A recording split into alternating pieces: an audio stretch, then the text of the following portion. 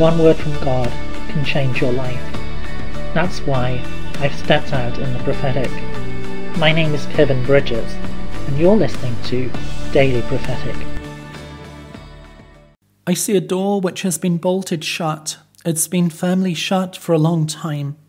And yet the Lord says, Do not be afraid. Know that I am the Lord who can open the way. I am the Lord who can unlock doors which have seemed so closed. Don't be afraid, but look to me, trusting in me that I am the waymaker, the one who opens up the doors for you, the one who makes possible the impossible. Turn your eyes towards me, turn your hearts towards me, looking to me, the God of the impossible, knowing that I will lead you into all that I have promised.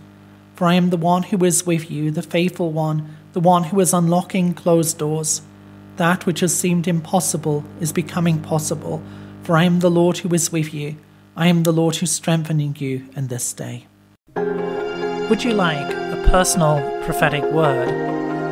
Check out the website in the description below. Don't forget to subscribe to get your daily word of encouragement. And whilst you're here, why not have a look at some other of the videos that I've made? God bless you and have a really great day.